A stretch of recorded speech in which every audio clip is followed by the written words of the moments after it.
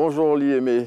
Bonjour Renaud. Comment ça va très cher? Euh, Content de te retrouver. Hein. Euh, c'est vrai qu'on n'est pas là côte à côte, mais on y va quand même hein, pour savoir euh, ce que nous proposent les journaux aujourd'hui. Et on démarre tout de suite avec Fraternité Matin, eh bien, qui nous rappelle qu'aujourd'hui se déroulent les épreuves du certificat d'études primaires élémentaires. Oui, Renaud, les tout petits ouvrent le bal des examens à grand tirage ce matin même. Et ces examens concernent cette année 703 948 candidats repartis en 2613 centres euh, sur l'ensemble du territoire ivoirien. La ministre de l'Éducation nationale et de l'alphabétisation, Marietou Kone, va ouvrir officiellement les épreuves écrites de à l'école primaire publique de Gonzarville 1 et 2 dans la commune de Port-Bouy. Et la proclamation des résultats se fera le 21 juin 2022 à partir de 14h. Oui, à partir de 14h et on espère, euh, en tout cas tous les parents croisent les doigts hein, pour que leurs jetons qui participent euh, à ces examens-là du CEP, euh, voilà, à cette date-là, au 14 juin, plutôt au 21 juin 2022, comme vous l'avez dit, que leur nom figure sur la liste des admis. En tout cas, on souhaite bonne chance à tous. Et puis, ce que je voudrais relever, c'est qu'il démarre aujourd'hui par, c'est laquelle des épreuves déjà par laquelle il démarre euh, je vois ici, euh, oui, c'est le certificat d'études primaires, c'est l'examen, euh, mais il démarre par l'éveil au milieu, non, par l'exploitation des textes, l'IME. Oui, hein? euh, justement, ce sera ça. C'est une épreuve qu'il faut, il faut souligner que ces examens se tiennent en une seule euh, oui, journée. en une seule journée. Donc c'est vraiment le marathon. Hein. Voilà, de Gonzagueville auront le privilège de voir donc la ministre de l'Éducation nationale ouvrir officiellement ces épreuves-là dans ce centre d'examen. Pour la circonstance, les parents d'élèves, les élèves et l'ensemble donc des acteurs du système éducatif euh, sont conviés à faire en sorte que les examens se déroulent dans la plus grande sérénité, loin de tout ce qu'il y a comme tricherie et tout cela. Et là-dessus, la ministre se veut ferme. C'est une résolution également de toutes ces assises et de tous ces travaux qui ont été faits dans le cadre de la réforme de, l'école ivoirienne. Mhm. Et la ministre Maria Tokone, en tout cas, attache du prix à faire en sorte que ces examens se déroulent dans de bien meilleures conditions. Ce sera un premier test pour euh, euh, ces examens qui s'ouvrent cette année et qui vont se, se poursuivre avec euh, le BEPC puis le baccalauréat dans les jours et les mois à venir.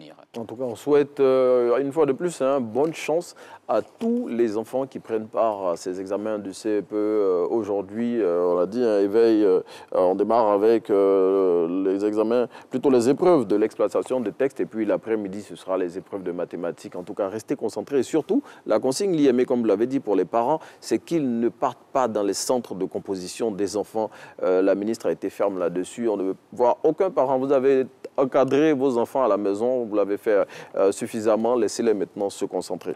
Autre information, l'IME, euh, pour poursuivre avec la revue de presse, c'est celle dont nous parle le Soir Info, information relative à cette affaire qui a éclaté et qui, depuis le week-end dernier, eh bien, occupe ben, toutes les causeries en Côte d'Ivoire, c'est euh, la lutte contre la drogue et des barons euh, de plusieurs cartels qui ont été arrêtés ici à Abidjan. Oui, l'affaire fait grand bruit à, Abidjan, d'Abidjan à, San Pedro. On a dit plusieurs arrestations, euh, Renault. Euh, c'est une situation qui préoccupe euh, l'État de Côte d'Ivoire au, plus haut, point. Voilà, les autorités ivoiriennes donc, se sont saisies du dossier. Le commissaire du gouvernement, euh, le procureur de la République, pardon, est à la tâche pour faire en sorte que toutes les personnes impliquées dans cette affaire-là soient écrouées. Déjà, on annonce plusieurs arrestations. Vous savez, l'État même a engagé il y a plusieurs mois de cela la moralisation de la vie, publique, la lutte contre euh, c'est les, trafics de tous ordres, mais surtout la moralisation de la vie publique, faire en sorte que tout ce qui pourrait poser, euh, poser des problèmes ou encore euh, ternir l'image du pays soit chassé le plus rapidement possible. Et, sur la question, l'État de Côte d'Ivoire se veut ferme. On a annoncé déjà plusieurs arrestations, mais d'autres têtes pourraient encore tomber parce que les, les, les, enquêtes sont en cours.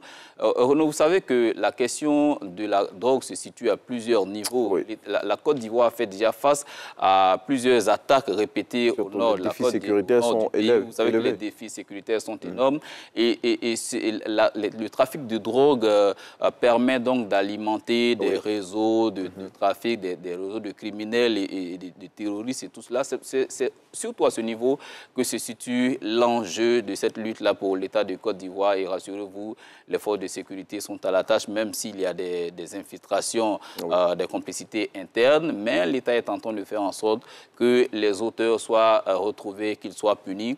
Et, et que, évidemment, un signal fort soit donné à ceux qui pensent qu'on peut s'enrichir euh, de façon illicite, hein, facilement, de façon illicite. Parce qu'en fait, derrière cela aussi, il y a ce message.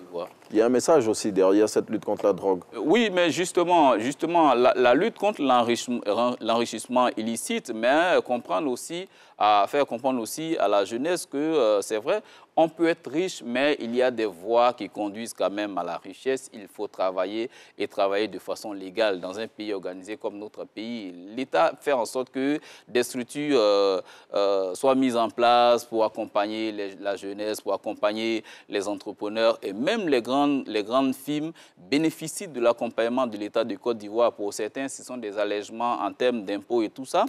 Pour faire en sorte que euh, chacun puisse, comme on le dit, gagner son petit pain dans le pays. Et, lorsque ce genre de situation-là arrive, c'est un mauvais signal qu'on donne aux tout petits, à la jeunesse, qui a tendance aujourd'hui à vouloir aller un peu plus vite et donc à suivre ces mauvais exemples-là. Je crois que sur la question, l'État se veut clair et ferme.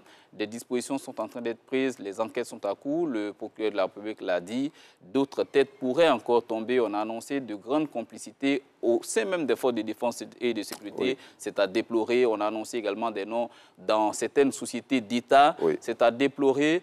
Et je veux croire que pour cette démarche, pour ce, ce processus qui est en cours, euh, il n'y aura pas de favoritisme. En tout cas, toutes les personnes qui sont impliquées euh, subiront donc la rigueur de la loi. En tout cas, euh, pas de favoritisme, hein. c'est le mot d'ordre dans cette enquête qui est menée et le président de la République, selon Soir Info, a donné des instructions fermes au ministre de la Défense pour que toutes les personnes qui seraient impliquées euh, dans cette affaire de lutte euh, anti-drogue eh bien, soient inculpées sans euh, état d'âme.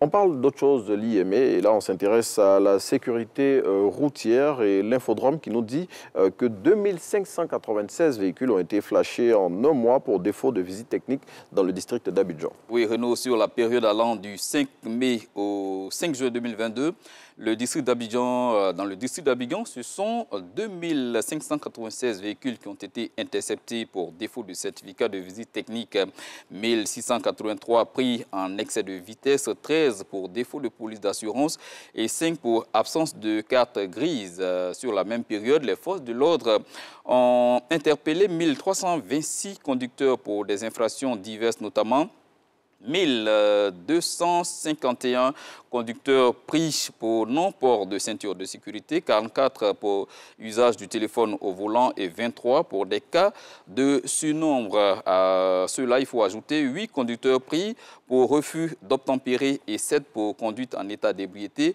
sur, l'ensemble, sur un ensemble de 550 tests d'alcoolémie effectués. Bon, on peut dire que la mauvaise habitude dans la vie dure. Hein. Oui, mais euh, les mauvaises habitudes, faut, faut, il faut comprendre avec tous ces chiffres-là que euh, euh, la, la, vidéo-verbalisation n'est pas encore, bon, pas encore entré dans, les mœurs. Les habitudes des, Ivoiriens, on a mhm. tendance à croire que ce qu'on fait n'est pas vu mhm. ici, alors que Abidjan est bien cadré aujourd'hui et ça devrait pouvoir entrer progressivement dans, dans les habitudes des, des, uns et des autres. Ça ne coûte rien de respecter la loi. Oui, en tout cas, ça ne coûte rien, mais bon, pour le moment, beaucoup de personnes vont en pâtir. Hein. Oui, oui. Quand on regarde les chiffres. Et ça va leur coûter quelque chose. Oui. Justement, ça va leur coûter quelque chose. Euh, lorsqu'on va saigner à la, à, la, visite technique, euh, une fois, deux fois, je pense qu'on ferait un peu plus attention quand même euh, dans, dans, nos habitudes en ce qui concerne donc le code de la route. Mhm. en tout cas, et puis voilà, la vidéo-verbalisation hein, qui tombe à point nommé pour mettre de l'ordre hein, sur les routes de Côte d'Ivoire parce qu'il y a tellement tellement d'actes d'incivisme. Et cette campagne-là qui a été lancée il y a plusieurs mois par le ministre de, des Transports, en tout cas, elle est en train de porter ses fruits hein, à travers ce qu'on voit 2596 véhicules flashés pour défaut de visite technique à Abidjan aussi. Hein, vous l'avez dit, hein, pour non-port de ceinture de sécurité et toutes les autres infractions au cours de la route on a tendance à incriminer les, véhicules de transport en commun, en commun alors que bon. mais il n'y a pas que ces, ces, véhicules-là. Tous les véhicules sont, concernés mhm. et, là-dessus, on va, on va, dire que c'est l'ensemble des Ivoiriens qui n'est pas encore habitué à, respecter le code de la route, à, avoir donc une bonne conduite. Là, on a, tendance à respecter que lorsque l'agent des forces de sécurité oui, va... est là pour faire la police, désormais non. Euh, ce ne sera pas comme ça dans les rues d'Abidjan. Il y a cette vidéo verbalisation-là qui permet donc de traquer euh, ces personnes indélicates qui mettent leur vie en danger et également mettent la et vie qui mettent la vie des autres en danger aussi. En tout cas, comme pour, le, euh, pour paraphraser certains, affiches, certaines affiches hein, qu'on voit dans certains établissements commerciaux, attention, vous êtes filmé. donc, vous pouvez faire ce que vous voulez en termes d'infraction, mais vous allez casquer hein, au niveau du portefeuille. Allez, Liam, on continue de dérouler euh, les titres de la presse de ce jour. Et là, on arrive à cette bonne nouvelle pour la Côte d'Ivoire. Hein. Euh, le ministre Jean-Claude Brou a été nommé gouverneur euh, de la BCAO et il prendra fonction le 4 juillet 2022. Oui, tu l'as dit, Renaud, l'Ivoirien Jean-Claude Brou a été désigné samedi nouveau gouverneur de la Banque centrale des États de l'Afrique de l'Ouest en remplacement de Tiemoko Kone, nommé vice-président de la République de Côte d'Ivoire. Et c'est le président Alassane Ouattara qui a donné l'information samedi dernier à l'issue d'un sommet extraordinaire des chefs d'État et de gouvernement de l'Union économique et monétaire ouest-africaine tenu à Accra. Jusque-là, président de la commission de la communauté économique des États de l'Afrique de l'Ouest, Jean-Claude Brou, devra prendre fonction le 4 juillet prochain à Dakar, au siège de l'institution. En tout cas, euh, bon, c'était dans l'air hein, depuis la nomination euh, de, de, l'ex-gouverneur de la BCAO, hein, le vice-président de la Côte d'Ivoire. Le siège, il était à pourvoir et bon, on se demandait bien qui allait être nommé. Et là, maintenant, euh, lequel bon, des Ivoiriens Lequel des Ivoiriens à la Côte. Oui, oui, oui. Et le ministre Jean-Claude Brou, hein, vous l'avez dit, de, la CDAO à, à, la BCAO, bon, je veux dire, il n'y a pas eu un grand pas à faire. Oui, c'est un, un, fonctionnaire de la maison, il connaît bien l'institution, il bénéficie également de la confiance du chef de l'État ivoirien, son Excellence Alassane euh, Ouattara. Il a été ministre de la République de Côte d'Ivoire euh, de 2012 jusqu'en 2017. Sa longévité donc aux côtés du chef de l'État lui a valu donc toute cette confiance-là. Aujourd'hui, il est désigné euh, en qualité de gouverneur de la Banque centrale des États de l'Afrique de l'Ouest. C'est une haute fonction qu'il compte donc assumer avec beaucoup de responsabilité. Euh, la Côte d'Ivoire, il a la bénédiction de toute la Côte d'Ivoire. Euh, et pour nous, c'est avec fierté hein, qu'on voit des frères, euh, je veux dire des Ivoiriens, assurer avec beaucoup de brio cette haute responsabilité. On se souvient de tous ceux qui se sont succédés à ce poste. Le dernier en date est l'actuel. L'actuel vice-président. on va rappeler aussi hein, que l'actuel président de la Côte d'Ivoire, le, le, président de la République, Alassane Ouattara, a été gouverneur de la BCAO, on a eu euh, feu euh, le, ministre euh, Jean, le ministre Bani, Charles Konabani, qui a été aussi gouverneur de la BCAO. Donc la tradition se poursuit, hein, puisque on l'a dit, le poste de gouverneur de la BCAO revient à la Côte d'Ivoire. Donc voilà. Maintenant que le ministre Jean-Claude Brou est à la BCAO. Bon, on espère que c'est un autre Ivoirien qui occupera son poste vacant à la commission de la CDAO. en tout cas, euh, les jeux sont ouverts et puis on attend aussi de savoir qui sera euh, le prochain euh, président de la commission de la CDAO. On parle d'élections, l'IME, et là on part à l'Assemblée nationale de Côte d'Ivoire. C'est aujourd'hui que voilà l'élection pour la succession de feu le président Amadou Soumaoro va se tenir et deux candidats sont en lice, le ministre Adama Togo et le député Dagny Bilekro. Renaud, c'est ce mardi donc que le président, le nouveau président de l'Assemblée nationale de Côte d'Ivoire sera connu. Si Adama Bitogo part à ce vote avec la faveur des pronostics, il devra faire face, euh, sauf changement de dernière minute, au député Dany Bilekro sous le Jean-Michel Amakou vice-président de l'Assemblée nationale et candidat du RHDP, le député d'Aboville, bénéficie du soutien des 157 députés de sa formation politique En face, euh, Jean-Michel Amankou n'a pas officiellement la bénédiction de sa formation politique, le PDCI RDA.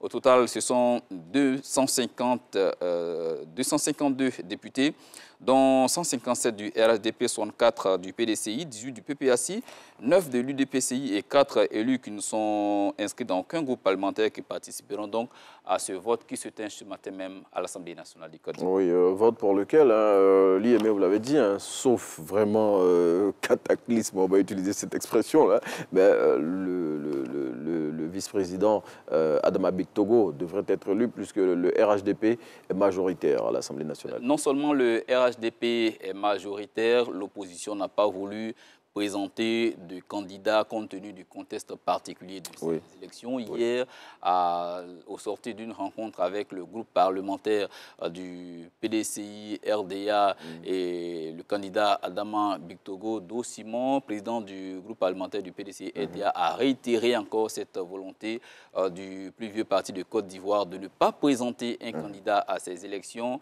Les consignes euh, du président Henri Conan Bédier seront données aux députés ce matin avant donc le vote. Et je l'ai dit, euh, le député Daniel Bleco qui se, qui se présente à ces élections-là euh, ne va pas avec la bénédiction du PDC RD. En tout cas, sauf changement de dernière minute, euh, Bitogo a donc toutes les chances voilà, de, remporter haut les mains ces élections, rappelant qu'il bénéficie de la confiance du chef de l'État qui lui-même a désigné Bitogo comme le seul candidat du RHDP. Et, et malgré il était donc le, seul candidat en course. Il a tenu donc à rencontrer les différents oui, à fédérer, à fédérer autour de lui. À faire en hein. sorte que sa candidature soit la candidature du consensus. Il a dit hier donc euh, au sortir de cette rencontre-là, et les députés du PDCI s'en sont félicités, euh, faire en sorte que son élection soit euh, l'élection du consensus et que ce soit l'occasion pour les Ivoiriens de se retrouver, de, se parler et d'être ensemble pour une vision commune. Vous savez que les députés représentent les Ivoiriens à l'hémicycle. Si les les députés parlent d'une seule et même voix. je pense que les Ivoiriens qui parle d'une voix. Donc, vont pouvoir donc euh, emboîter ce pas. Ce que nous voulons pour l'hémicycle, ce n'est pas une caisse à résonance pour l'exécutif, mais parler d'une seule voix euh, euh, ne veut pas dire forcément que sur certains dossiers, l'opposition ne peut pas avoir son point de vue. Oui mais qu'on ne s'oppose pas pour s'opposer. Quand c'est bon, il faut soutenir. En tout cas, quand c'est bon, il faut soutenir. Et pour parler du candidat euh, à mon coup, euh, député euh, Dagny là, c'est la seconde information, euh, l'information qui vient maintenant. le, groupe, le président du groupe parlementaire du PDC à l'Assemblée nationale a été clair. Hein. le PDC-RDA n'a pas de candidat. Vous l'avez relevé dans vos propos tout à l'heure, mais il va quand même, en se présentant comme étant un député du PDCI, puisque c'est sous cette bannière-là qu'il a été élu. Oui, c'est un député du, PDCI, on ne pourra pas occulter cela, ah mais officiellement, le PDCI ne, ne, présente pas de candidat. Vous savez qu'à l'hémicycle, euh, il y a des groupes parlementaires. Oui. Voilà, il y a le nouveau groupe parlementaire constitué désormais le PPACI, PPACI voilà, le PDCI, le RHDP et, tout cela. Mhm. Et donc, les décisions qui sont prises par les députés euh, de ce groupe parlementaire-là engagent le parti politique. Mais voilà, et donc, Cette fois, le PDCI décide qu'officiellement, mhm. nous n'avons pas de candidat, mhm. mais un député qui a l'étiquette du PDCI est candidat. On ne va pas lui arracher l'étiquette parce qu'il est mhm. candidat, mais il n'est pas candidat au nom du groupe parlementaire PDCI. Bon c'est un peu difficile à comprendre. tout ça. à comprendre, mais... il est candidat, mais le PDCI n'a pas de candidat. Euh, ça veut dire qu'il ne bénéficie pas de l'onction du PDCI. PDCI. Ce n'est pas le PDCI qui l'envoie en mission. Alors que dans le cadre de Bitogo, hmm. euh, le président de la République lui-même, en tant que chef du parti RHDP, a désigné M. Bitogo comme étant le hmm. candidat du RHDP. Il a engagé donc l'ensemble des députés du groupe parlementaire RHDP à soutenir la candidature de, de Adama Bitogo. Voilà toute la différence. Pour parler comme quelqu'un dans les rues d'une ville de la Côte d'Ivoire, c'est compliqué votre affaire. c'est compliqué. Le PDC n'a pas de candidat, mais un candidat du PDC. Bon, bref, euh, dernière information pour aérer tout ça, mais on va parler de sport euh, et on va parler des éléphants de Côte d'Ivoire qui, euh, le, le week-end dernier, ont remporté leur match contre les Chipolopolos de la Zambie. C'était le vendredi dernier et voilà, ils se projettent déjà sur la prochaine rencontre qui va avoir lieu ce jeudi après-demain, et ce sera face aux Lesotho. Oui, justement, après leur victoire face à la Zambie, 3 buts à 1, euh, vendredi dernier à Yamsoko, les Ivoiriens affrontent le, les autos. Ce sera le, jeudi. La rencontre va se jouer à Johannesburg, en Afrique du Sud. Mhm. Déjà pour mieux préparer la rencontre, euh, Gassé et ses hommes quittent Abidjan aujourd'hui, mardi. Nous aurons donc euh, quelques jours pour faire la reconnaissance du terrain, mais également pour finir les dernières séances d'entraînement. Renault, le match a lieu à Johannesburg, on l'a dit. Gassé n'entend pas faire de, de, grands changements dans son effectif. Il a dit que ce sera l'occasion donc de, révisiter son effectif. Le, code, le sélectionneur français se satisfait de cette sortie, cette première sortie de ses poulains, hein, des éléphants de Côte d'Ivoire le samedi dernier, donc euh, à, le vendredi dernier, pardon. À Yamsokro. Hein. Pour lui, mhm.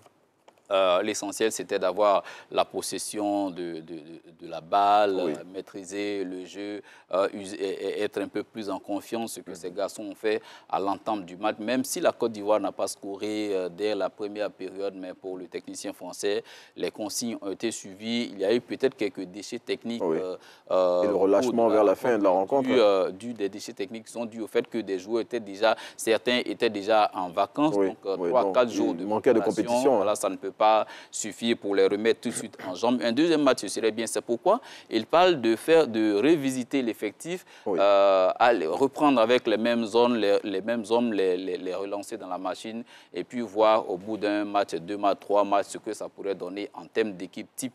Euh, on ne pourra pas tout de suite euh, juger Gassé, hein, j'entends. Oui, ça c'est clair. Les choses se dire, on lit un peu des choses un peu partout dans la presse, mais écoutez, et on n'est qu'à sa première sortie, on ne pourra pas tout de suite le juger sur euh, les bons et les mauvais coups. Il a pour mission de nous faire gagner la CAN 2023. Des, des, nations. Mhm. Je pense qu'il aura besoin du soutien de, l'ensemble des, Ivoiriens. On va tout de suite eh, arrêter de se eh, lancer la pierre. Hein. Mhm. De toutes les façons, le recrutement a déjà été fait. Oui. Gassé est le sélectionneur des élections. Bien, ça, il faut déjà l'intégrer. Il faut déjà l'intégrer. Il faut déjà intégrer cela et comprendre que le travail qu'il fait, il le fait pour nous. Ce n'est pas donc euh, en lançant la pierre au sélectionneur qu'on ira chercher la Coupe d'Afrique des Nations. On a besoin de solidarité autour de cette équipe-là, autour même de la Fédération ivoirienne de football, malgré les griefs peut-être justifiés pour certains, mais il faut comprendre que certaines choses sont derrière nous. Il faut penser l'avenir, il faut penser à l'honneur du pays. Et cet honneur-là passe par une bonne organisation de la Coupe d'Afrique des Nations, mais faire en sorte que le trophée puisse rester en Côte d'Ivoire. On a encore le souvenir,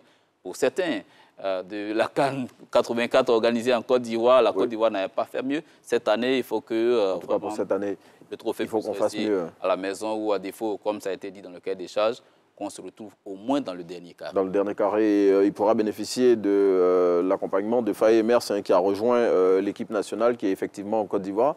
Faye Mers qui n'avait pas pu participer voilà, à l'encadrement pour le premier match, mais qui est désormais là et qui sera de l'équipe qui va partir aujourd'hui en Afrique du Sud. En tout cas, l'IME, merci d'être venu partager avec nous tous ces titres de la presse nationale. L'IME, je le rappelle, rédacteur en chef de Radio Yopougon.